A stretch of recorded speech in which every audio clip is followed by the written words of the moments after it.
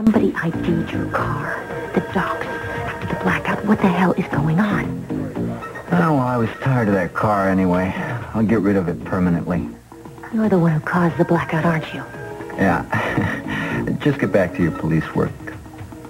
And, um, stop being afraid of the dark. Okay?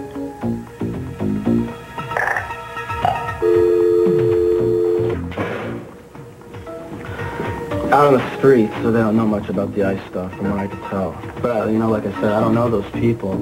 I only go there, you know, when I can't find what I want on campus.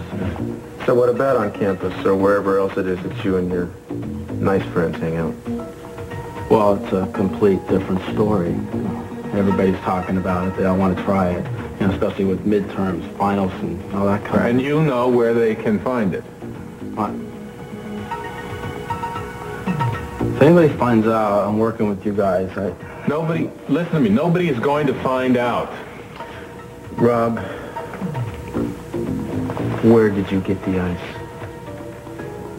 A woman. Country club set. They tell me her name is Jane.